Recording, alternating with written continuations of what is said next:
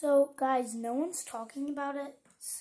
But do you know the scene in the Sonic movie 2 where they're all, um, where there's different, where like Tails clones himself? Well, I think this is a reference to Sonic Boom. See, guys? It's obviously a reference. Sorry, that's my PS4. It's almost dead. But okay. But this, like, why is it no one talking about this? It's a reference to Sonic Boom, guys.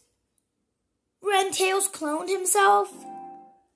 So, guys, like, subscribe, and turn on post notifications for more stuff that I realized in Sonic Movie 2 and Sonic Movie 1 and other Sonic stuff. So, yeah, I think this is a reference to Sonic Boom.